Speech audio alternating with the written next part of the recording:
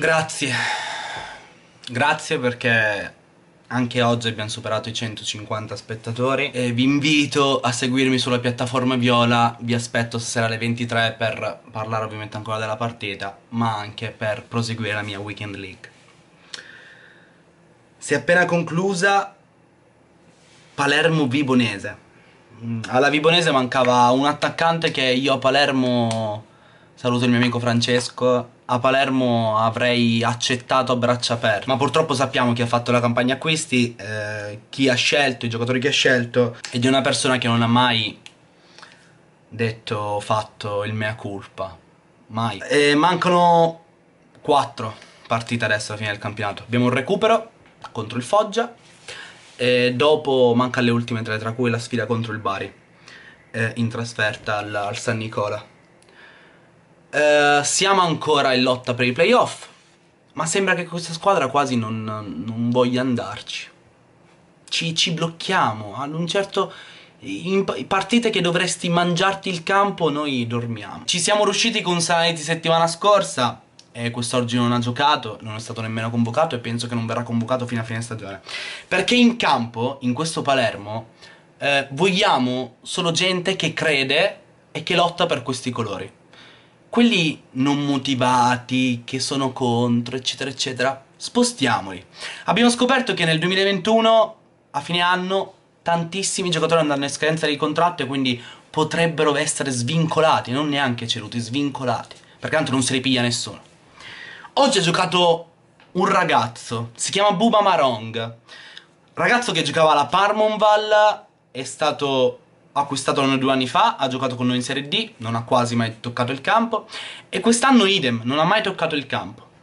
Eh, in difesa abbiamo, facciamo i nomi, Andrea Accardi e Andre non si tocca perché darà sempre l'anima per questi colori e lo dimostra. Sta zitto, sta in panchina, non gioca, poi entra dà tutto. Non parla. Marconi, difensore ottimo per me, purtroppo sfortunato anche con gli infortuni. Peretti, giovane classe 2000. Passiamo agli altri, a quelli che hanno visto il campo da inizio anno. Somma e Lancini. Ex Brescia 1, eh, ex Depor, Somma. Ma mi spiegate perché avete fatto un contratto a questi? Che, cioè, soltanto per, per dire, prendo uno che si chiama Somma, che è conosciuto, per tipo eh, far star zitti i tifosi? Prendo Lancini dal Brescia Ragazzi, oggi ha giocato Buba Marong, che vi ha messo la terza gamba in bocca a tutti. A tutti. Perché non ha sbagliato un cazzo. Non ho mai visto un esordio in Lega Pro ad un giocatore che ha giocato uno spezzone di partita in Serie D e basta. In Lega Pro, ok, che abbiamo giocato contro la Vibonese con tutto il rispetto per i nostri avversari. Ma è stato disarmante, preciso, non sbagliava gli interventi, poi nel finale per... è stato sfortunato, ha fatto un errore, ma può capitare. Ma ha fatto 90 minuti da giocatore vero, vero. Non serve avere il cartellino con scritto giocato qua, qua, qua e qua per dimostrare qualcosa. Questa è una categoria di merda. Chi pensa che la Lega Pro sia un campionato bello, questa è una categoria di merda dove non, non servono i fenomeni per vincerlo. Serve solo gente che lotta che lotta per 90 minuti, che ci crede, che ha voglia di crederci. È un campionato del genere. La qualità ti serve, i passaggi devi pur farli. Ma cazzo, ci facciamo mettere sotto come prestazione a volte dalle squadre peggio conosciute al mondo? E noi abbiamo i giocatori di altra categoria. Santa Madonna, mai a svegliarsi. Mai. Io voglio Buba Marong in campo ora, da adesso, fino a fine campionato. Fino a fine campionato. Solo gente che lotta e basta! Anche Filippi quest'oggi, figlio mio! Il centrocampo non faceva filtro, dai, ma si vedeva! C'era Luperini che vagava per il campo, oggi Lupe sbagli ha sbagliato tutto. In fase offensiva, in fase di impostazione, in fase di contrasto, tutto! Tutti gli stop! Non ce l'abbiamo altri 20 cristi in panchina. Abbiamo giocato col Catania in 11, potremmo giocare, fa far giocare quelli che sono in panchina. Ma cazzo! Cioè, De Rose era l'unico centrocampista dove andare, fa rottura e impostare. Allora che cazzo giochiamo con i due centrocampisti a fare? Almici che fine ha fatto? Ma Albi! Ma Albi, ma non ti riconosco più! Voglio abbracciarti in questo momento! Che succede? Ho capito che avete litigato con Canute e giocate pure sulla stessa fascia! Ma basta! Scrolliamoci tutto! Almici aveva dimostrato inizio stagione di essere quel terzino che a Palermo mancava da un sacco. Adesso gioca esterno di centrocampo, vabbè. Ma Silipo io lo adoro perché calcisticamente è un giocatore che mi ricorda qualcuno che il pallone sa farlo girare e a rientrare a un sinistro bello, delicato, per me potrà far bene. Ma anche lui ha sfruttato male questa occasione, poteva fare molto di meglio anche lui. Anche Rauti.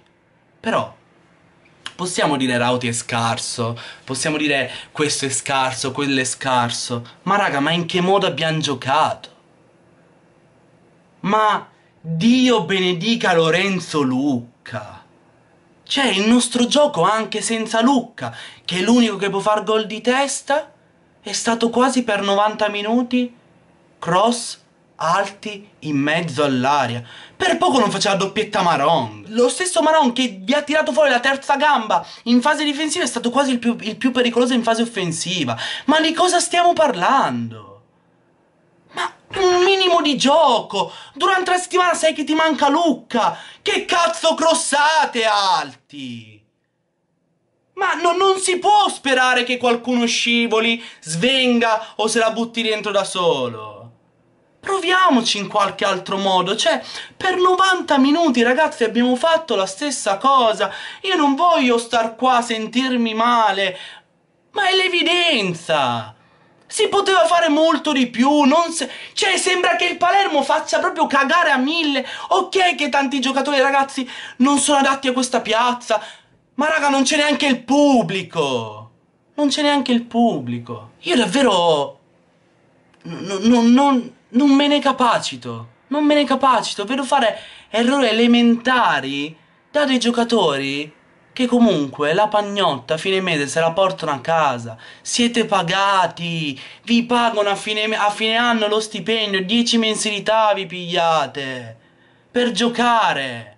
Almeno date tutto. Ma è come se io vado a vendere la frutta e tipo mi metto lì al bancone. Non faccio più il frutto vendere. Mi metto lì al bancone, mi passano i clienti vicini e vi faccio. Eh, non oggi. Ma raga, come l'impegno prima di tutto. La fama agonistica. Ma non ce l'avete la voglia di, di es no, esplodere, di, di, di diventare ancora più forti. Siete eroi per i tifosi. I tifosi vi venerano. Noi tifosi siamo fatti così. Ma non in questo modo. Stiamo continuando a far figuracce con chiunque. Poi va bene, poi sì, raga, lo so, mi direte, ecco, ma c'era un rigore. Ma raga! Ok, era nettissimo. Ma dai! Ma dai! Come possiamo attaccarci ai rigori? Quando hai preso un tiro in porta in tutta la partita? Due. Come? Cazzo, davanti alla porta! Ma io piuttosto mi facevo, mi facevo saltar via il ginocchio piuttosto di buttarmi scivolate e provare a, a contrastare anche il portiere. E facevo cagare io. Ma non vedo proprio quello, il sangue agli occhi, non lo vedo. Vedo gente demotivata e troppo svogliata.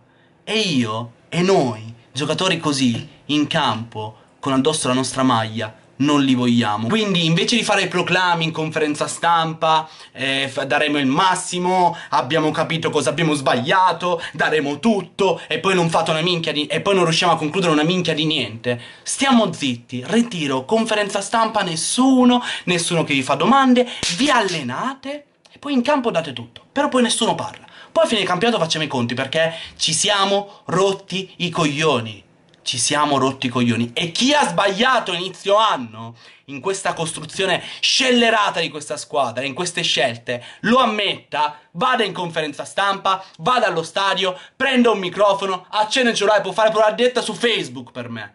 Ma deve dirlo, deve dirlo chi ha sbagliato. perché non è soltanto colpa dei giocatori. It go,